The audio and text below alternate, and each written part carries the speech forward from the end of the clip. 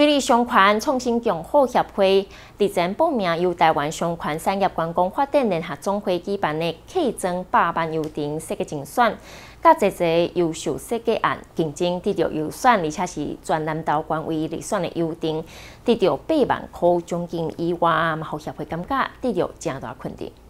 水利乡相关创新强化协会参加全国百万客庄优点规划设计比赛，规划农游客庄好时果为两百万参赛队伍中。得到全国十大最佳客庄小旅行中台湾前三名，并且阁是南道关唯一得奖的规划优点。以这个地方呢，我们协会呢啊推动了一个啊这个客庄啊农农游啊这个美食好食购哈这样一个活动呢，很荣幸的能够获得了全国十名呢啊，我们很期待啊透过这一次的一个比赛呢，那个主办单位能够积极的来帮我们做一个行销啊，希望很很多人。啊，这个啊，尤其呢，到客家庄旅游呢，水里是一个一个很好的一个选择哈。为两百个参赛队伍中，的当得到优胜，并且得到百万块奖金作为鼓励，我协会感觉大大受到肯定，并希望这项得奖的优点，也会当协助水利客庄在观光方面的发展。主要提报的计划啊，是客家小旅行。